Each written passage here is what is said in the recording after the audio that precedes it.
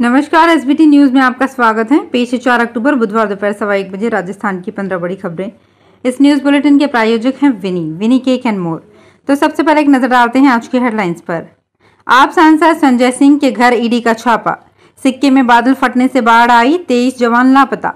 सरकार ने नौ आईपीएस और दो आईएएस की किए ट्रांसफ़र कोचिंग सेंटर्स में एक महीने बाद फिर से होंगे टेस्ट अब जारी नहीं होगी रैंक और जोधपुर में 450 करोड़ में बनेगा ट्रोमा हॉस्पिटल। पीएम कल देंगे सौगात। और अब खबरें विस्तार से। आम आदमी पार्टी के राज्यसभा सांसद संजय सिंह के घर बुधवार सुबह सात बजे ईडी की टीम पहुँची। ये छापेमारी संजय सिंह के दिल्ली वाले घर में हो रही है। बताया जा रहा है कि करीब सात आठ अधिकारी आबकारी नीति केस के सिलसिले में छानबीन कर रहे हैं। आबकारी नीति केस की चार्जशीट में संजय सिंह का भी नाम है।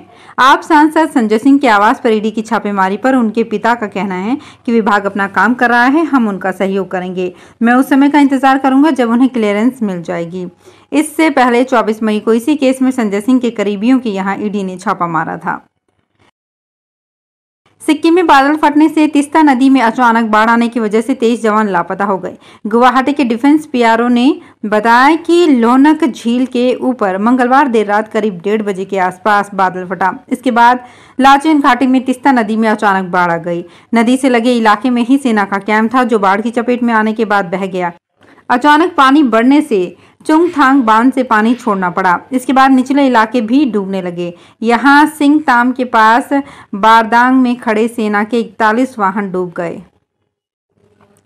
राजस्थान की गहलोत सरकार ने मंगलवार देर रात राज्य सरकार ने नौ आईपीएस और दो आईएएस अधिकारियों के ट्रांसफ़र किए हैं। आईएएस महावीर प्रसाद मीणा को कोटा कलेक्टर लगाया गया है। वहीं आईएएस ओम प्रकाश बुनकर का ट्रांसफ़र राजस्थान राज्य भंडारण निगम के एमडी पद पर किया गया है। इनके अलावा नौ आईपीएस अधिकारियों के भी तबादले किए गए हैं। इसमें सरकार ने एसओजी, एटीएस के एडीजी को बदल दिया है। चुनाव आयोग की गाइडलाइन के अनुसार एक ही पद पर तीन साल से ज़्यादा समय तक रहने वाले अधिकारियों के ट्रांसफ़र किए गए हैं। कोटा में पिछले नौ महीने से हो रहे कोचिंग स्टूडेंट की सुसाइड को रोकने के लिए टेस्ट पर रोक लगा दी गई थी। अब एक महीने बाद कलेक्टर ओपी बुनकर ने मंगलवार को टेस्ट से रोक हटाने के आदेश जारी कर दिए हैं। हालाँकि इसके लिए गाइडलाइन जारी की गई है। टेस्ट के लिए जारी छह पॉइंट की गाइडलाइन के अनुसार किसी भी स्टूडेंट को इन असेसमेंट टेस्ट में शामिल होने के लिए फोर्स नहीं कर पाएँगे। इसके साथ अब रिज़ल्ट में रैंक प्रणाली को भी बंद करना होगा। दरअसल जिला कलेक्टर ने सत्ताईस अगस्त को इस पर रोक लगाई थी। पश्चिमी राजस्थान के हेल्थ केयर सिस्टम को लगातार मज़बूत कर रहा एम्स जोधपुर जल्द ही एक्सीडेंटल रिलीफ के लिए सबसे बड़ा ट्रोमा अस्पताल की सौगात देगा। छह मंजिला इस बिल्डिंग के लिए करीब 450 करोड़ रुपए खर्च होंगे। पीएम मोदी के कल प्रस्तावित कार्यक्रम में इस नए ट्रोमा हॉस्पिटल का भी शिलान्यास होगा। नए भवन में दो सौ बेड के नए ट्रोमा सेंटर के साथ ही और भी सुविधा होगी। इसके लिए करीब 450 करोड़ रुपए खर्च होंगे। इसमें से करीब 300 करोड़ से ज़्यादा का बजट सिर्फ़ भवन निर्माण का है। राजस्थान कर्मचारी चयन बोर्ड की लापरवाही के कारण पशुपालन विभाग में एनिमल अटेंडेंट के पाँच पदों की भर्ती की विज्ञप्ति जारी नहीं हुई है। इस भर्ती की घोषणा तीन माह पहले ही की जा चुकी है। अब विधानसभा चुनाव आचार संहिता के चलते ये भर्ती अटक सकती है। पशुपालन विभाग की ओर से भर्ती के लिए अभ्यर्थना कर्मचारी चयन बोर्ड को भेजी जा चुकी है। मुख्यमंत्री अशोक गहलोत ने इस भर्ती के लिए शैक्षणिक योग्यता आठवीं की जगह दसवीं करने के साथ ही प्रस्ताव को भी मंजूरी दे दी थी। उदयपुर में राणा प्रताप स्टेशन पहुँचने से तीन मिनट पहले जयपुर उदयपुर इंटरसिटी ट्रेन में मंगलवार रात बदमाशों ने पथराव किया। इससे एसी कोच का कांच टूट गया। हालाँकि किसी भी तरह की जनहानि नहीं हुई है। घटना मंगलवार रात करीब सवा नौ बजे की है, जब Jaipur intercity train Rana Pratap station पहुँचने वाली थी। इससे पहले ही कुछ बदमाशों ने बेड़वास कच्ची बस्ती से खेमपुरा के बीच ट्रेन पर पथराव कर दिया। इससे कोच में बैठे यात्री अचानक सहम गए। एसी कोच नंबर सी की 21 नंबर सीट वाली खिड़की पर पत्थर आकर लगा। जिससे कांच बुरी तरह से क्षतिग्रस्त हो गया। उन्नीसवें एशियन गेम्स का आज ग्यारहवा दिन है। भारत ने archery mixed team compound event में गोल्ड मेडल जीत लिया है। गोल्ड मेडल मैच में ओजस प्रवीण और ज्योति सुरेखा की भारतीय जोड़ी ने कोरिया की जोड़ी को एक सौ से हराकर स्वर्ण पदक अपने नाम किया। इससे पहले रेस वॉक 35 किलोमीटर में भारतीय मिक्स्ड टीम ने ब्रॉन्ज मेडल जीता। भारत अपने ऑल टाइम बेस्ट रिकॉर्ड को तोड़ दिया है। अभी तक भारत के नाम 16 गोल्ड सहित इकहत्तर मेडल आ चुके हैं। इससे पहले भारत ने जकार्ता में खेले गए एशियन गेम्स 2018 में शानदार प्रदर्शन करते हुए सबसे अधिक 70 पदक जीते थे। विधानसभा चुनाव के प्रत्याशी पैनल पर प्रदेश भाजपा के शीर्ष नेताओं की आपसी खींचतान से परेशान आलाकमान ने राष्ट्रीय संगठन महामंत्री बीएल संतोष को मंगलवार को जयपुर भेजा। वे शाम को प्रदेश भाजपा कोर कमेटी की बैठक में शामिल हुए।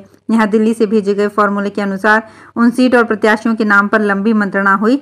जिसे पहली सूची में शामिल किया जाना है।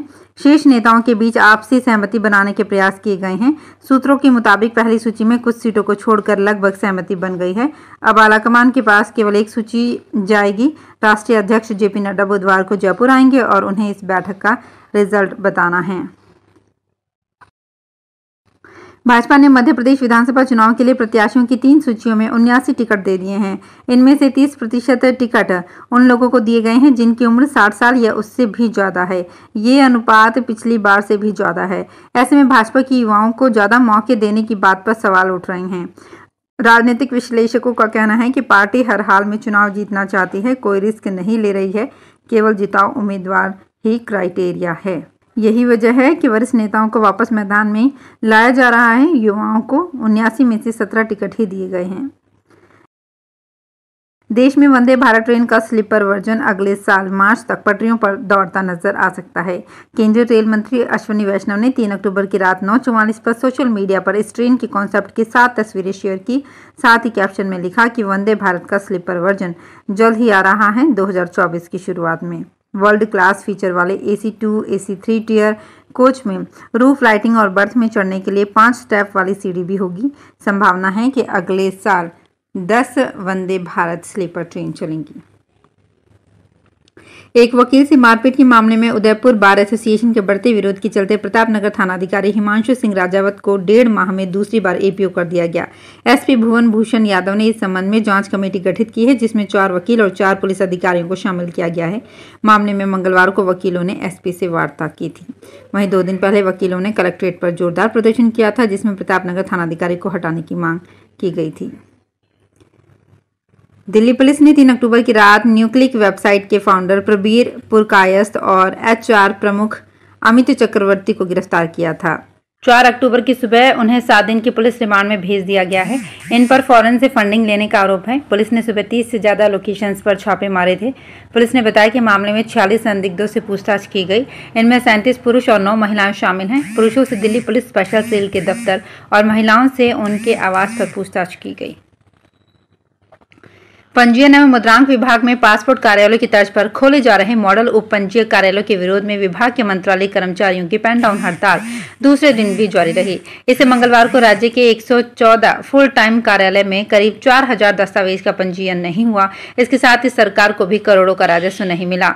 मंत्रालय कर्मचारियों के समर्थन में विभाग में कार्यरत कंप्यूटर कर्मचारी भी हड़ताल में शामिल हैं। हड़ताल को डीड राइटर्स और स्टाम्प वेंडर्स ने भी समर्थन दिया है। कार्यालय में प्रतिदिन 150 से 200 दस्तावेज़ का पंजीयन होता है। राजस्थान में बच्चों को अंग्रेज़ी माध्यम में अध्ययन कराने के लिए हर ज़िले में मॉडल स्कूल खोले गए। करीब एक साल पहले प्राथमिक व पूर्व प्राथमिक कक्षाओं का संचालन करने के लिए एक अरब रुपए से प्रदेश में एक नए भवनों का निर्माण किया गया, लेकिन आज तक कक्षाओं का संचालन शुरू नहीं हुआ है। हेरिटेज लुक वाले कई मॉडल स्कूल भवन तो रखरखाव के अभाव में जीर्ण शीर्ण होने लगे हैं। प्राथमिक व पूर्व प्राथमिक कक्षाओं का संचालन करने के लिए उद्देश्य से हर ज़िले के मॉडल स्कूल में बनाए गए भवनों पर करीब एक करोड़ रुपए खर्च हुए हैं। तो फ़िलहाल इस बुलेटिन में इतना ही। फिर हाजिर होंगे कुछ और बड़ी खबरों के साथ।